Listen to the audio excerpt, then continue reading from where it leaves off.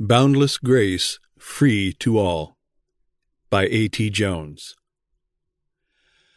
Unto every one of us is given grace according to the measure of the gift of Christ. Ephesians 4, verse 7. The measure of the gift of Christ is all the fullness of the Godhead bodily. This is true whether viewed as the measure of the gift which God made in giving Christ or as the measure of the gift which Christ himself gave.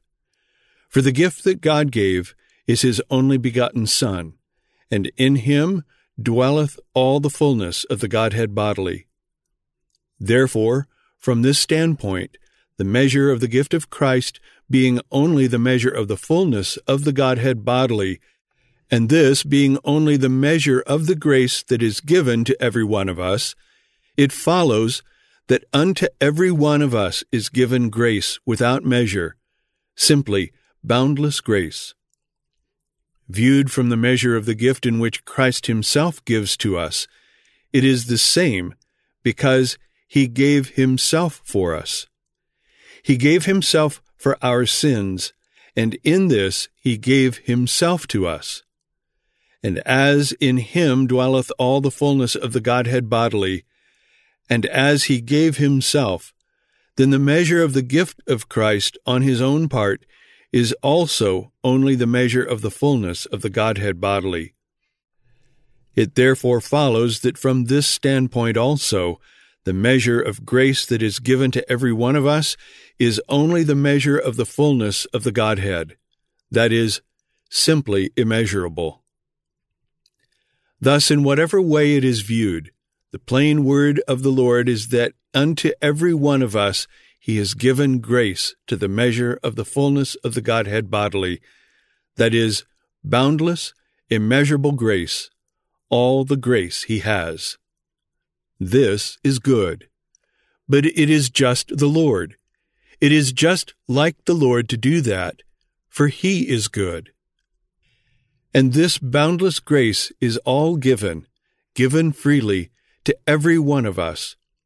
To us it is, to you and me, just as we are, and that is good. We need just that much grace to make us what the Lord wants us to be.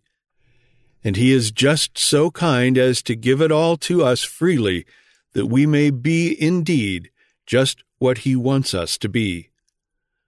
The Lord wants every one of us to be saved, and that with the very fullness of salvation. And therefore he has given to every one of us the very fullness of grace, because it is grace that brings the salvation. For it is written, The grace of God that bringeth salvation hath appeared to all men. Titus 2, verse 11. Thus the Lord wants all to be saved, and therefore he gave all of his grace, bringing salvation to all. The marginal reading of this text tells it that way, and it is just as true as the reading in the verse itself. Here it is The grace of God that bringeth salvation to all men hath appeared. All the grace of God is given freely to every one, bringing salvation to all. Whether all or any one will receive it, that is another question. What we are studying now is the truth and the fact that God has given it. Having given it all, he is clear, even though men may reject it. The Lord wants us to be perfect, and so it is written, Be ye therefore perfect, even as your Father which is in heaven is perfect. Desiring that we shall be perfect, he has given us, every one, all the grace that he has, bringing the fullness of his salvation, that every man may be presented perfect in Christ Jesus.